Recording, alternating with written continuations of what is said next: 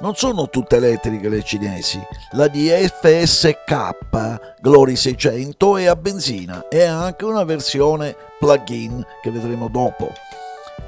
E conservano il benedetto motore termico, un 1500 turbo da ben 185 cavalli. Questa Glory 600 è il top di gamma, a 7 posti e sarà disponibile anche in versione GPL. DFSK è un nome strano, è un acronimo di Dongfeng Sokon Automobile, quindi è, è una Dongfeng sostanzialmente e fa parte del gruppo Ceres che come sappiamo produce anche delle supercar.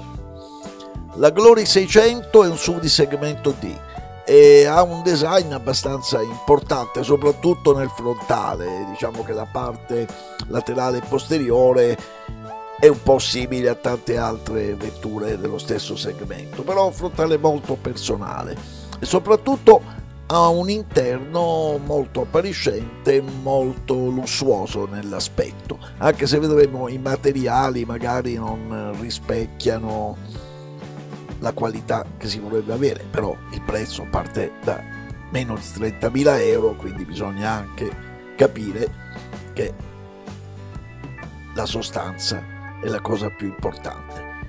Infatti la vettura presenta un gran comfort di marcia e soprattutto ha tanto tanto tanto spazio all'interno.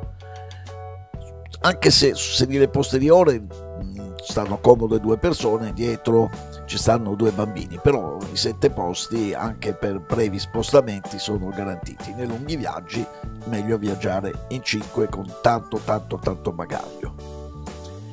Su strada la DFSK Glory 600 offre soprattutto un gran comfort.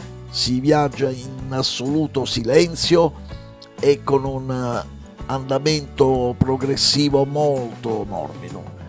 I 185 cavalli francamente non si sentono. Eh, la vettura ha un cambio CVT che però non si imballa come i soliti CVT, è molto fluido. Probabilmente i progettisti sono riusciti a creare un nuovo modo di essere nel cambio CVT che sappiamo è a variazione continua di rapporti, quindi non ha le marce. Non è una vettura sportiva, assolutamente non bisogna aspettarsi, lo sterzo non è molto sensibile, non invita insomma una guida brillante, ma molto soft e l'unico difetto che abbiamo trovato è magari qualche riflesso di troppo nel parabrezza. Per il resto, per chi vuole viaggiare da buon padre di famiglia, è una vettura sicura, affidabile, molto, molto, molto robusta, tanto più che la casa offre ben 5 anni di garanzia o 100.000 km, il che francamente è un valore aggiunto anche rispetto al prezzo. Ma adesso vediamo ancora la vettura. Andare su strada e in futuro magari proveremo la versione plug-in che offre circa 60-70 km di autonomia e un motore per complessivi 177 cavalli. Certo costa da 36.000 in su quindi è più caro.